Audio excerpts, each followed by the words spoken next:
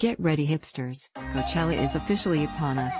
And while this is usually the most wonderful time of the year for most celebrities, not everyone is excited. Word has it, Selena Gomez, 25, is still on the fence about attending.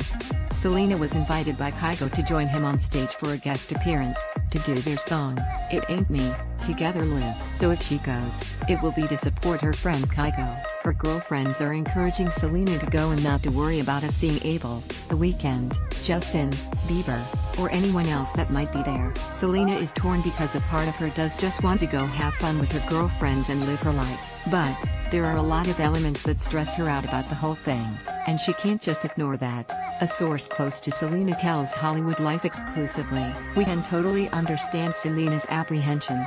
After all, things between her and The Weeknd are pretty tense following the release of his EP My Dear Melancholy. If you recall, The Weeknd made several references to Sel in his song Call Out My Name.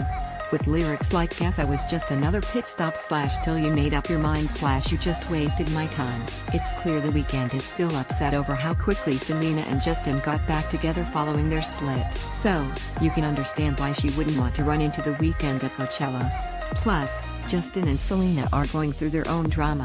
What was supposed to a break, turned into what we believe a breakup after JB was spotted with model Baskin champion on multiple occasions. So crazy, right? She's leaning towards skipping it, Coachella, this year and spending time with her family, our source added. Aw. While we don't think Sel should skip out on the festival because of her ex-boyfriends, we support her decision regardless.